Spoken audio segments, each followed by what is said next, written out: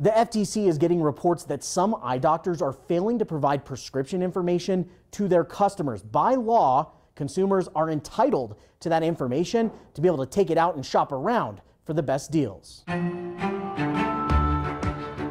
After you have your exam and it's already paid for or however it goes, always ask for a copy of it.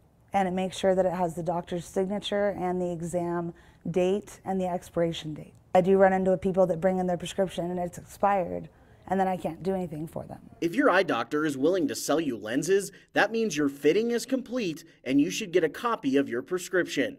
The FTC says you don't have to pay for it, request it, or fill out any forms. What happens with a lot of private practices is that they get their exam, the private practice obviously wants them to buy it from them. According to the FTC, no eye doctor can force you to buy lenses from them or make you sign a waiver or release in order to get your prescription. Local optical managers say having a copy of that prescription is not only a consumer right, but is the only way to get access to what you need. If you do not have your own copy of your prescription, no one will help you or sell you glasses for that matter or contacts. The FTC says eye care providers who violate this consumer law could face fines of more than $50,000 per penalty. To learn more and to file reports with the FTC, you can just visit our website, koaa.com. Reporting in Colorado Springs, I'm Patrick Nelson for News 5.